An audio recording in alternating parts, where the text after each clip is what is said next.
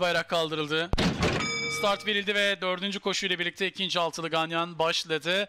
Dört numaralı Lucky Victory rakiplerinin dört boy gerisine başladı yarışa. Yarışa çok iyi başladı. Yedi numaralı Letslav liderliği alıp üç boy kadar fark yaptı. Bir numaralı Floyd peşinde. Onların bir buçuk boy kadar gerisinde. Ortada on numaralı Wild 18 ilerliyor. Bu safkanın hemen dışına doğru sekiz numaralı Night Jovel geldi. İki buçuk boy geride dokuz numaralı Noble Kız yanında altı numaralı kızım Adile. Dışlarında iki numaralı Göktuğ Maysan dışlarına gelense 3 numaralı Hasılat.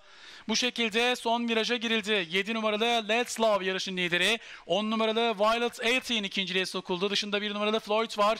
2,5 boy geride 8 numaralı Night Jovel sırasıyla düzlüğe çıkılmak üzere 7 numaralı Let's Love yarışın lideri. İçeriden 10 numaralı Violet 18'in dışarıdan 1 numaralı Floyd'un ataklarıyla son 400 metreye girildi. Yarışın lideri 7 numaralı Let's Love. Yanında 1 numaralı Floyd belirdi.